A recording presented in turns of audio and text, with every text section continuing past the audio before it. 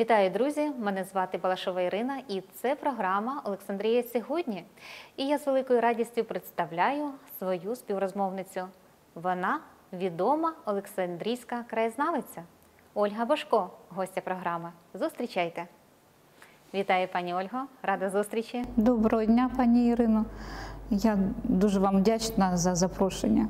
Пані Ольга, коли ви погодились на телевізійне інтерв'ю, от про що ви хотіли в першу чергу розказати олександрійцям? Можливо, про свою музейну діяльність, адже в музеї ви працюєте вже сім років, очолюєте краєзнавчий відділ. Можливо, про безпосередньо краєзнавчу пошукову свою роботу, можливо, про щось особисте, про свою родину, тому що у вас велика сім'я. І наскільки я знаю, панує в родині гармонія, взаєморозуміння. Думаю, не всі олександрійці можуть похвалитися такою погодою в домі. Про що хотілося б найбільше поговорити? Ну, мабуть, про все. Е, Про все потрошку, і про краєзнавство, і про музейну справу, і про родину. Повернемось в минуле да, і пригадаємо, як починалася ваша краєзнавча діяльність. Наскільки я так пригадую, колись під час розмови ви сказали, як я зрозуміла, що цей початок відбувся навіть не з вашого бажання і не з вашої ініціативи. Так склалися обставини. Які то були обставини? Давайте пригадаємо. Ну, в один день до мене звернувся е, настоятель одного із православних приходів нашого міста, отець е, Анатолій, і він попросив допомогти йому е, підготувати історичну довідку про історію православних храмів на території нашого міста Олександрії. На жаль, на той період ну, не було такої дослідженої якби, історії про ці храми, е, скажімо, в бібліотеках, де б її можна було просто знайти, віднайти. І е, саме можливо з цього періоду і відбулося перше знайомство і з Олександрійським краєзнавчим на той час музеєм, і з відомою краєзнавицею за відділом Надією Жахаловою. І е, тоді е, пішли такі пошуки. От е, саме розпочиналось воно про Успенський собор і про інші храми нашого міста Олександрії. А ці пошуки не могли відбутися без праць Василя Миколаївича Нікіфорова, який був саме першим краєзнавцем, православним краєзнавцем нашого міста Олександрії і взагалі колишнього Олександрійського повіту Херсонської губернії. І дуже багато його пошуків були не тільки про нашу територію, тому що він ще декілька років, п'ять років він проживав у місті Одесі і був духівником в Одеській семінарії, і в цей період він навіть досліджував історію Херсонської єпархії, яка на той час знаходилася у місті Одесі. Тобто ви вже знали на той момент, де шукати необхідну інформацію? Чи знову ж таки вам хтось підказав? Надія Володимирівна, наприклад? Ні, на жаль, е, спочатку е, невідомо було, де її шукати, і е, спершу я звернулася. Е, Музей декілька праць було е, в музеї, е, це по, по місту Олександрії. А також звернулася одночасно у Херсонський архів, який мене перенаправив саме в Одеський архів, тому що всі ці праці були в архівах, вони зберігалися у друкованих виданнях, які виходили в 19-му, на початку 20-го століття. Після того, як ви побували в архівах, е, ознайомилися з необхідною інформацією, тобто знайшли її, що потім е, одержалося? Це були статті, це, можливо, якісь довіднички були видані. Ну, інформація була різноманітною, тому що ну, розпочиналося начебто з якоїсь історичної невеличкої довідки історію православних храмів. Була цікава історія і біографії священнослужителів. Е, На той час я дізналася, що багато священнослужителів були репресовані в 30-ті роки, і в частності е, настоятель і е, священник Покровської церкви вони були розстріляні у 37 2007 році, і е, я про них почала збирати матеріал. І це не просто були е, якісь невеличкі публікації, да, були публікації в місцевій, в місцевих газетах, в обласних газетах. Це були невеличкі такі брошури, але крім того всього, був зібраний матеріал, який послужив е, ну, таким фундаментом для того, щоб цих священнослужителів прославити у числі святих, і вони зараз є як ну, їх почитають на території Олександрійської єпархії і е, на Україні. Я, до речі, коли готувалася до інтерв'ю, мені до рук потрапила характеристика на Ольгу Башко.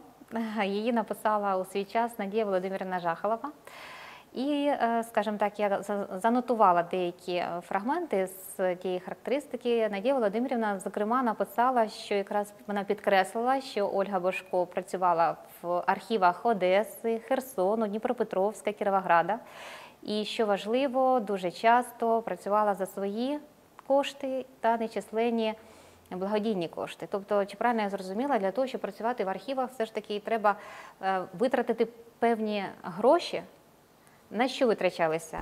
Ну, перш за все, туди потрібно було за якісь кошти доїхати. Крім того, що в архіві ж не видають, от ти пройшов в архів і сьогодні тобі видали справи.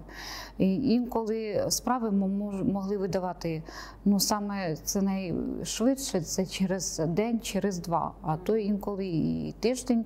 Е, Ну, якщо говорити про Кіровоградський архів, то бувало так, що ти приїжджаєш, замовляєш справи, і тільки через тиждень ти можеш з ними працювати. Ну, Кіровоград е, близько від Олександрії, то це ти просто е, приїжджав вранці, виїжджав ввечері, або ж або ж там залишався переночувати і на другий день працював з цими справами. А от уже в Одесу, то це набагато складніше. І крім того всього, що ті справи, які ти просто переписував, е, будучи в архіві, а е, були, наприклад, друковані праці того ж самого Василя Миколаївича Нікіфорова, і їх могли надати відкопіювати, і за це потрібно було заплатити і гроші. На той час, якщо це брати, е, ну більше 15 років тому, то це немалі були гроші 100 гривень, наприклад, в архіві, там, в бібліотеці в обласній, інші справи. Е, Ну, е, взагалі, той, хто займається краєзнавством, це не безкоштовне таке заняття. І інколи це дуже великі гроші. Е, Цікаво, е, в деякі, наприклад, архіви, які я от згадала, там Одеси, Херсону, Дніпропетровська, доводилося повертатися кілька разів. Наприклад, в Одесу скільки разів доводилося їздити? Ну, в Одесі е, я, на жаль, тільки один раз була. Ну там і е, тиждень я знаходилась в Одесі і працювала на протязі тижня з багатьма справами. І де зупинялися? е, Зупинилася в нашій Олександрійці, з якою колись була познайомилася в Олександрії в церкві. І так тетя Валя нас, ну, вірніше, мене прийняла. Е, Вже подорож була до Одеси, і ми не зупинялися, але Тетя це Валя вже... таки живе в Одесі? Вона проживає в Одесі, да, і дуже слідкує і за нашими краєзнавчими, творчими е, досягненнями, і моїми, і моїх дітей. Тобто ми наскільки поріднилися, що вона як рідна нам вже людина. А от Кіровоград е, ще до карантинних е, цих обмежень, е, то часто доводилося звертатися з, рі- з різних питань по різним темам. І це вже навіть не тільки дослідження православного краєзнавства, це вже й теми іншої тематики, вірніше справи.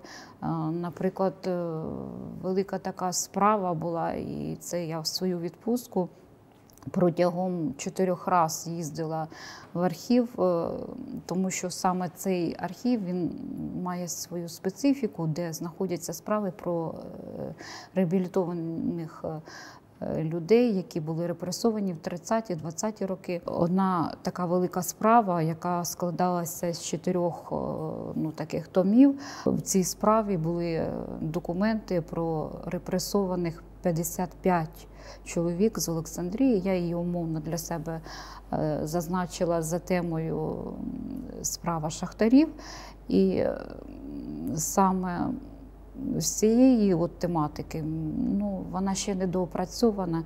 Тоді на той час е, я тільки встигла відфотографувати багато документів із цих справ, ну, майже ті всі томи. А- от опрацювати ще не всі їх вдалося. Не вистачає часу. Ну, знову ж таки, е, ваша колега Надія Володимирівна Жахалова мені підказала, що е, з того моменту, як ви почали займатися краєзнавством, у вас назбиралася дуже велика православна та історико-краєзнавча бібліотека. Мені дуже цікаво, які особливі книги є в цій у вашій книгозбірні. Ну, е, це видання життя святих Дмитра Ростовського. Це подвижники благочестя 19 століття. І, до речі, в цьому виданні воно 13-томне, є навіть про подвижників благочестя нашого рідного краю. Е, Ну, це священнослужителі, монахи, просто віруючі люди, які проживали в 19-18 столітті.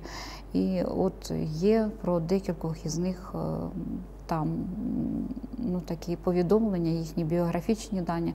Е, Дехто з них вже прославлений. Чому подвижники благочестя? Тобто це люди, які ще не були прославлені, але вони були почитаємі. Е, Ну, це на, на період 19 століття. На період уже 21 століття багато з них, хто вже перейшов якби в інший такий статус. Е, тобто ми не за них молимося, ми вже звертаємося е, з молитвою до них за допомогою.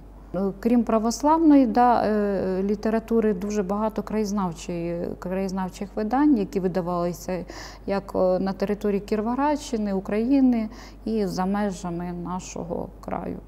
Ці книги е, були кимось подаровані, чи все ж таки доводилось їх купувати в магазинах, там в монастирях, я не знаю, в храмах. Да, багато книг п- це куповані, є такі, що е, дарували друзі, близькі. От, е, інколи е, книги приходили в дарунок так несподівано, і це якась така неочікувана завжди радість. І ти кожній книжці, наскільки ну, її зустрічав е, з радістю, як начебто це якась нова народжена дитина, от з'являлася в твоїй родині, твоїй сім'ї. Ну, таке відношення. Багато людей, які з вами е, спілкуються, пані Ольга, відзначають, що ви глибоко віруюча людина. І е, як ви самі про себе говорите, тобто в житті не буває випадковостей, на все е, Боже провидіння. Чи трапляються дива в вашому житті? Ну, по-перше, кожен день да, ти просипаєшся, ти живий, небо світле, сонце світить це вже чудо. Тому що є і інша ситуація в наш не такий страшний час. Е, Чудес дуже багато. Це і народження дітей, це і е, те, що ти живий, тому що, ну, наприклад, була така ситуація, коли ти дивишся в очі смерті, але вже скільки пройшло років, і слава Богу. ви про себе говорите? Це я говорю про Так. себе, да. Е, Так само, ну, я ж кажу, кожна дитина, от е, це велике чудо в нашій родині, тому що багато саме було претензій е, напередодні того, що як їх народжувати від лікарів, і десь когось забороняли народжувати, бо Навіть там да, були такі ситуації з, е, із здоров'ям. От. І вони всі живі, здорові, і слава Богу, і це вже чудо. Ну, якісь такі неочікувані радості в житті відбуваються ну, кожен день. І та ж подарована книга інколи буває, це теж чудо. І, і якесь відкриття, е, ти приїжджаєш в архів і можеш відкрити справу. І саме це те, що ти шукав, можливо, роками ставив для себе питання, воно тобі раз і відкрилось. Тобто, ну, І такі якби випадки реально траплялися? Траплялися. Наприклад, переглядаючи справу по метричній книги за 1864 рік по Успенському собору, я натрапила на е, саме запис про смерть і поховання е, дуже такої поважної людини, яка проживала в Олександрії. Це контрадмірал Володимир Павлович Романов. І коли працівник архіву побачив, що я сидю і плачу над цією справою. Ну, інколи людям Отак буває не розчулила м, ситуацію навіть не зрозуміло, да. тому що там е, були в цій справі не просто запис метричний, що, в якому говорилось про те, що ця людина, якого вона віку, коли вона померла, де вона, де вона похована, що відспівував такий-то священник. Е, Вірніше, декілька священиків, що Василь Миколаївич Нікіфоров навіть причащав е, цю, цю людину. Е, Раніше існувала така версія, що цей адмірал був похований у Березівській церкві, але конкретно в цій справі було записано, що він був похований на Олександрійському першому міському цвинтарі, і тобто це доказувало ту версію, коли люди е, говорили, які ще навіть вживу бачили е, могилу на старому кладовищі, цвинтарі, якого вже, на жаль, немає. Це на території колишнього таксопарку. От. І таких справ бувало дуже багато. І для мене це також чудо, коли ти приїжджаєш, наприклад, е, приїжджав е, в обласну бібліотеку, і в них, е, вірніше, в обласну, в обласний краєзнавчий музей, а в них була така велика бібліотека, і там була можливість попрацювати з херсонськими епархіальними відомостями, в яких друкувалися праці Василя Миколаївича Нікіфорова.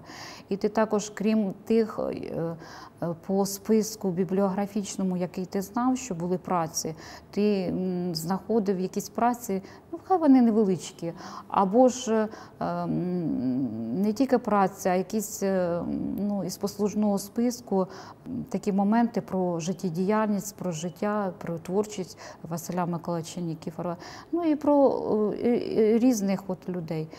І навіть вчора так сталося. Я відкривши книжечку да, про театр наш Олександрійський, знайшла для себе відповідь, яку я шукала дуже багато, начебто я цю читала книгу.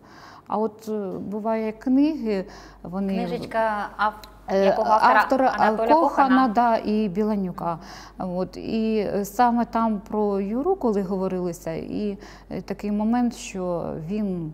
Е, Коли проживав в Олександрії і розпочав свою якби таку театральну діяльність в Олександрії, в Олександрійському театрі, і він в 1911 році, тобто 10 років тому, познайомився із Гайдебуровим і Скарською. Е, Павло Гайдебуров це режисер, і Надія Скарська це акторка театру е, першого загальнодоступного передвижного театру із Санкт-Петербургу. Їхня Творча діяльність як акторів і режисера розпочиналася в Єлисаветграді, але вже як окрема трупа вони склалися саме в Санкт-Петербурзі. І саме знаходився їхній театр в колишньому Ліговському народному домі графіні Паніни. А це той будинок, в якому я працювала замдиректором, коли навчалася. На той час він був будинок залізничників, е, будинок культури залізничників.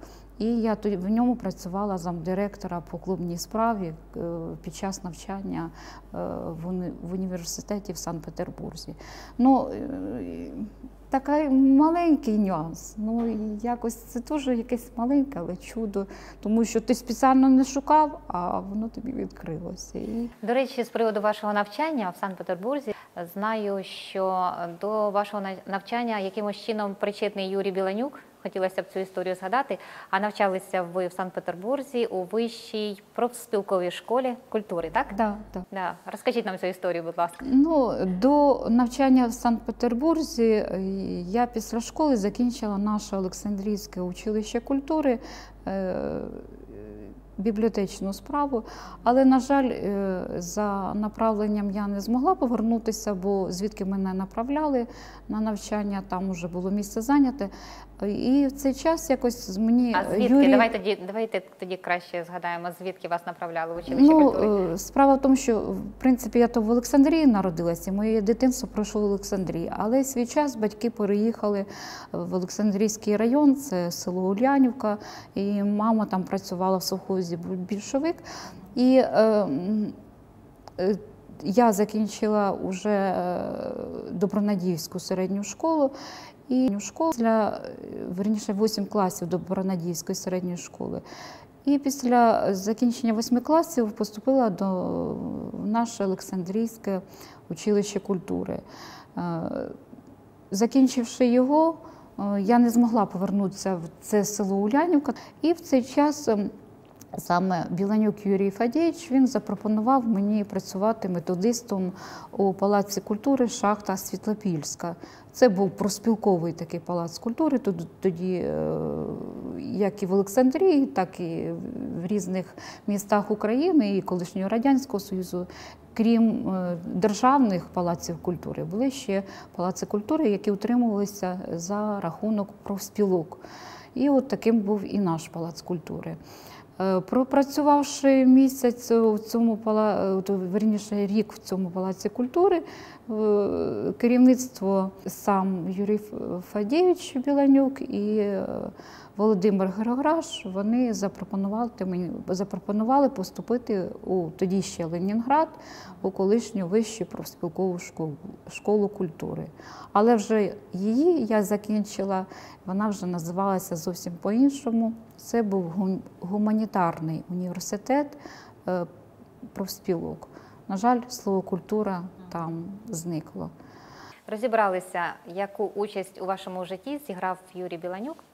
А тепер я хочу повернутися в 2005 рік і е, пригадати, що якраз в тому році з вашої ініціативи в місті е, розпочалося викладання шкільного нового предмету, який називався Християнська етика. І цей предмет був започаткований в Олександрійському колегіумі. А нашим глядачам хочу нагадати, що якраз в той час директором колегіуму працював відомий зараз е, на Кіровоградщині е, політик Сергій Петрович Коваленко. Але е, питання до вас такого плану. На вашу думку, чому саме в цьому закладі було започатковано викладання цього предмету, оскільки е, в інших закладах аналогічного предмета не вводили? Ну, так якось, мабуть, чудом вийшло, що в свій час мені запропонували поїхати на семінар у Київ, і е, він відбувався саме з питання запровадження нового предмету в навчальні заклади у школи це основи християнської етики. І е, не маючи, мабуть, е, шкільної педагогічної освіти, да, як з правом викладання, але ж все-таки, е, як за фахом педагог-організатор, е, при всіх цих нюансах, да, е, управління освіти, а тоді Олена Орленівна очолювала полтавець його. І я до неї звернулася, приїхавши із Києва з книгами, з певними, з деякими програмами. Е, Я їй повідомила, що є така можливість, а не хотіли б ви. І що ви, як ви дивитесь на таку можливість? Тобто тут ви вже проявили свою ініціативу. Ну, мабуть, так. І е, вийшло, що саме вона запропонувала мені звернутися в колегіум і навіть набрала Коваленка Сергія Петровича, і е, він погодився. Мабуть, такі люди вони люблять щось таке новеньке. І е, він погодився і надали мені, правда, ем, декілька годин, е, тому що викладався звичайний е, факультативний, це предмет був факультативного такого характеру. Звичайна етика і за бажанням християнська етика. І це вже був початок навчального року, тобто це перші числа, і саме десь приблизно в 10-х числах вересня вони мене прийняли на роботу. Е, Перед цим я прийшла на шкільні збори до, і запропонувала е, батькам. І вже за бажанням батьків вони надали згоди, вони надали там заяви на ім'я директора.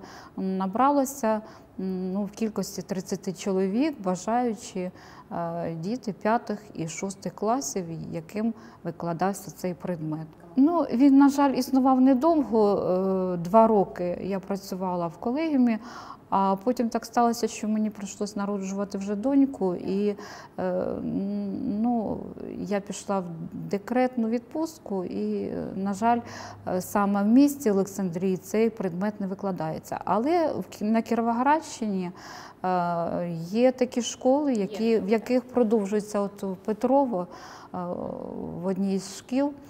Навіть викладач колишній, він просто був викладач е, вчитель праці і е, пройшов курси перепідготовки саме за цим е, предметом. І е, почав викладати предмет християнської етики, і недавно він навіть став священником. Є такий випадок. Був також предмет іще історичне краєзнавство. Це теж була ваша ініціатива. Е, Це також факультативне таке заняття. Тобто, в чому нюанс е, факультативу? Там оцінок не, не виставляється, і це також за За бажанням. бажанням дітей. Да, за бажанням дітей, за бажанням батьків. Е, е, Саме цю дисципліну запропонувала колега е, із колегіма, це Лисюк Лариса Павлівна. Е, Ну, вона запитала. От ти ж займаєшся краєзнавством, не хотіла б ти мою годину по, по історичному краєзнавству взяти собі. Ну, вон, на жаль, дуже мало. Це одна година на тиждень, і там групка була невелика, але також да, був такий предмет. е, Верніше, я працювала от саме в такому напрямку е, в колегіумі. А як сьогодні е, краєзнавство викладається в школах нашого міста? Е, Чи можливо цю місію сьогодні виконує більше музейний центр? Що вам про це відомо? Е, Справа в тому, що окремих, на жаль, факультативів по школам немає із історичного краєзнавства. Є е, декілька годин в різних класах, коли діти вивчають історію України, і там є години по історії рідного краю. І е, як за правило, вчителі до нас звертаються е, в Олександрійський міський музейний центр, і ми е, буває проводимо тематичні заняття, буває проводимо тематичні екскурсії або оглядові екскурсії і е, розповідаємо учням. Також студентів навчальних закладів, які є на території міста, е, учням міста Олександрії, і навіть приїжджають із району, привозять дітей. Е, Більше це відбувається е, саме в травні, ближче от до літніх канікул. І буває, що ще в червні місяці також звертаються, приїжджають групи дітей, приходять із різних шкіл, класи на екскурсії, на тематичні заняття. І на протязі року наш музейний заклад звертається до навчальних закладів. Ми пропонуємо теми, які йдуть протягом року, чи це теми пов'язані, е, скажімо, з якимись датами, чи це теми пов'язані з подіями е, в місті, в країні. І е, бажаючі звертаються, тоді замовляють такі заняття і екскурсії. В міському музейному центрі ви очолюєте краєзнавчий відділ, тому я так розумію, що це саме ваша сфера діяльності спілкуватися і з педагогами з історії, і проводити екскурсії. Ну і не Я не помиляюсь? Ні, не помиляєтеся. Я вже сім років ось буде 20 травня, е, як займаю цю посаду. Це була посада раніше, її займала Надія Володимирівна Жахолова. І зараз я на цьому місці працюю вже от сім років. Це історія нашого міста, нашого регіону. І е, саме е, музейні експозиції, музейні виставки е, краєзнавчого напрямку. Е, Це саме моя робота. І також у нас немає окремих екскурсоводів в музейному закладу, і кожен завідуючим відділом проводить е, екскурсії по своєму відділу. е, За від природи по відділу природи, я як краєзнав... краєзнавчого відділу, то по відділу краєзнавства, і також історичні, там просвітницькі відділи. От. І саме краєзнавство, а це дуже така велика е, тема. Це історія краю, історія людей, історія родин, історія закладів. Пані Ольго, ще хочу поцікавитись з приводу такого питання. Ви неодноразово, коли робите дописи в періодичних е, виданнях, згадуєте відомого олександрійського фотографа Георгія Васильовича Танського. І навіть нещодавно поширили його е, фотографію з підписом, що це фото від е, рідних, що це е, вам на електронну адресу надіслали рідні цю фотографію. Що взагалі відомо про цю людину? Можете розказати нам сьогодні? Про цю людину в Олександрії пам'ятають дуже багато олександрійців, тому що хтось замовляв фотографії, свої портрети, або ж якісь на документи фотографії, або це весільні фотографії чи родинні фотографії. Саме про самого Танського мало хто знав якісь моменти з його біографії. Да, знали, що ось був такий фотограф, да, він жив в нашому місті, він працював в такому фотоательє. І Але на ж у нього і- були репортажні зйомки. Да, і на цьому все. А у нас в музейному центрі, саме от в краєзнавчому відділі, є дуже велике таке панорамне фото е, центральної площі, яка на той час була, скоріш за все, вже е, площа Леніна. Е, е, е, Тому фото, мабуть, більше 50 років, тому що площа тільки тільки вона була реконструйована, з'явилися нові будинки на цій площі, ще маленькі зовсім дерева. От. І довгий час я шукала інформацію про цього фотографа. Мені було цікаво, тому що дуже багато фотографій зустрічалось, як і в фондах музейних, е, музею, верніше, так і в інтернеті. Можливо, і ви їх бачили на різних сторінках в соцмережах фото Танського. Ну і на цьому все. Коли він народився, де він народився, е, ну, як він розпочав свій шлях як фотографа. Е, В свій час я дізналася, що він переїхав з Олександрії у місто Херсон до своєї доньки на е, постійне місце проживання. І в Олександрії про нього ну, якось не то, що забули, про нього пам'ятали, але ніхто про нього не знав його долю подальшу. От. І ем, то ви говорили про чудо, да? і в таких справах також відбуваються чудеса. Якось е, на херсонських е, е, сторінках, е, групах я залишала е, якби, такі дописи, хто знає про долю Танського. І до мене звернувся один із е, фотолюбителів, він колекціонер із Херсона, і він мені надав, е, каже, ви знаєте, у мене тут завалявся такий документ, е, він мені потрапив там, е, я вже не пам'ятаю як, а це партійна книжка Танського. Може, вам її висить? Кажу, ну дійсно вис- висилайте. А я знаю, що е, в цих е, ну, документах є біографічні дані. От, і е, саме вона мені допомогла якби, зібрати таку невеличку е, його біографію. Він народився в Маловиськівському районі, е, в Кіровограді до, до воєнний період він працював. Е, Він приймав участь е, в воєнних подіях, е, бойових подіях і був навіть нагороджений нагородами за свою участь в роки Другої світової війни.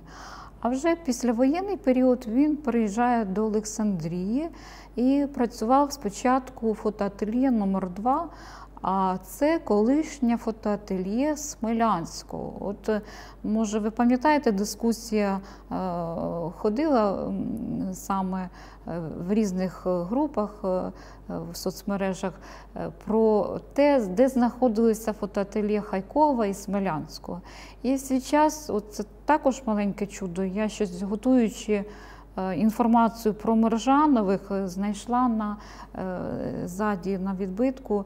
Відбиточок такий е, саме там не вказана конкретна адреса, от, а вказаний будинок, в якому знаходився знаходилось фотоательє. А це неподалік е, від е, будівлі колишнього казначейства. В радянські часи це був державний банк. Останнім часом це як Промінвестбанк, ми його знаємо, цю будівлю. Вона неподалік від міської ради. І от саме по проспекту, поруч з цією будівлею, знаходилось таке невеличке приміщення, в якому вже і навіть післявоєнний період знаходилось фотоательє яке спочатку було фотоательє Смолянського, а в радянські часи воно то післявоєнний період стало фотоательє номер 2 і в цьому фотоательє розпочинав свою діяльність і Танський. Саме завдячуючи соцмережам, я знайшла і координати його доньки, і ми з нею поспілкувалися взимку.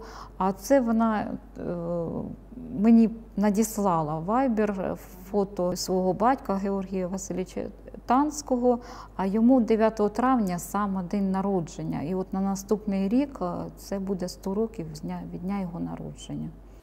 До речі, у вас є е, теж дуже хороша така е, краєзнавча робота з приводу відомих олександрійських лікарів. І мене зацікавила, наприклад, історія Неоніли Федосіївни Бузаньової. І в одній з своїх е, робіт ви вказали про те, що буквально нещодавно, це в 17-му році, вам вдалося знайти рідних цієї відомої олександрійської лікарки. Мені цікаво, е, чи довгими були пошуки, чи можливо раніше просто цим ніхто не займався. Чому питаю? Тому що ви в своїй роботі написали, що багато було нез'ясованих нюансів із життя цієї е, лікарки, і саме завдяки тому, що знайшлися родичі, вам вдалося доповнити біографію деякими фактами, і плюс ще ви отримали фотографії. Як вам вдалося знайти рідних? Ну так сталося, це також чудо. Взагалі ми з ними познайомилися набагато раніше, до навіть того часу, що я працювала, почала працювати у музейному центрі. Це родина е, Олени Вікторни Бузаньової. Яка проживає в Олександрії, і ця родина до мене звернулася. Її, е, до речі, направили з музейного центру, тоді ще краєзнавчий музей, звернутися до мене. Вони шукали інформацію про е, в їхньому родоводі, там є священнослужителі. І вони тоді до мене звертались. Е, Я їм там трохи інформації надала в свій час, а потім в мене залишились їхні контакти. І коли вже працюючи в музеї, е, коли я ну, мені попалось це прізвище Бузаньової Неоніли Федосійної, я згадала про цих людей і так е, ну, до них звернулася. Кажу, ви там кажу, ви не родичі. Олена Вікторовна говорить, да, це моя тітка. От, е, до речі, у Олени Вікторовни, її рідна е, сестра, також відома е, науковиця, це професор, вона, яка проживає у Києві, Бузаньова Євгенія Вікторівна. Ну, е, про Неонілу Ві- Федосіївну вони надали матеріали, завдячуючи вже доньці, яка також лікар. А донька проживає де? Вона в Москві проживає. проживає в. Москві. Е, В принципі, там же ж і померла е, сама Ніла Федосівна. Тому що так, також от, е, вона працювала в, Олександрійському медичному училищі, вона працювала е, головним лікарем Олександрійської поліклініки післявоєнний період. Е, Вона закінчила Дніпропетровську. Дніпропетровський медичний інститут, там навчалася в аспірантурі. І на початку війни е, вона повернулася в місто Олександрії і багато років проживала в Олександрії, е, в Кіровограді, в Києві. Ну і останні роки в Москві. Пані Ольго, ми з вами зустрічаємось напередодні дня народження Олександрії, і в вашому, в нашому е, музейному центрі заплановано низку заходів. Це і екскурсії, і презентації, і виставки. На яку аудиторію розраховані ваші заходи? Ну, як за правило, е, ми взагалі напередодні Дня міста пропонуємо навчальним закладам низку заходів, які, в яких би вони захотіли прийняти участь. Е, Надаємо тематику е, тих заходів, чи це е, тематичні заняття, чи це е, години краєзнавства, чи це вікторини, чи це якісь е, презентації, е, чи це тематичні е, оглядові екскурсії, ну більш тематичного характеру. І вже типу, нам ідуть замовлення у музейний центр. Це і шкільна аудиторія, це і студентська аудиторія. І буває, е, що просто родини можуть прийти. От в вихідний день е, дуже часто до нас приходять в музей просто відвідувачі, і вони замовляють якусь тематичну або оглядову екскурсію. Пані Ольго, ефірний час нашої програми добігає кінця, і я не можу на сам кінець нашої розмови не поцікавитись, чи є мрії або якісь е, е, сокровенні бажання в Ольги Башко. Як у кожного краєзнавця, в кожного дослідника з тієї чи іншої тематики є таке, така завітна мрія видати свою книгу. Е, Ну, мабуть, вже прийшов час зібрати разом ті публікації, які були опубліковані як в Олександрійських часописах, так і в обласному часописі. І е, в інших виданнях це і журнали, і газети, і різні збірники е, краєзнавчої тематики, і видати вже окрему книгу, а можливо і серію книг. Е, Це історія рідного краю, біографії Олександрійських родин. Що треба для того, щоб видати свою книгу? Не вистачає часу, щоб все систематизувати, чи не вистачає коштів? Мабуть, і те, і друге. Тому що часу дійсно не вистачає. Таке враження, якби е, в добі було 48 годин, і їх би не вистачало. Ну і друга така причина кошти це також. Але є мрія і є е, мета. Значить, е, все так складеться, що врешті-решт ця мета стане реальністю. Я в це вірю. Да. Будемо надіятися на чудо, і воно здійсниться з нашою і Божою допомогою. Пані Ольго, я вам дякую за сьогоднішню зустріч, за цікаві розповіді. Я вам бажаю наснаги в вашій роботі. Дякую за взагалі за вашу таку благородну справу, те, що ви робите для Олександрії, для олександрійців, і вам наснаги. Хай здійснюється бажання. Дякую вам, пані Ірино.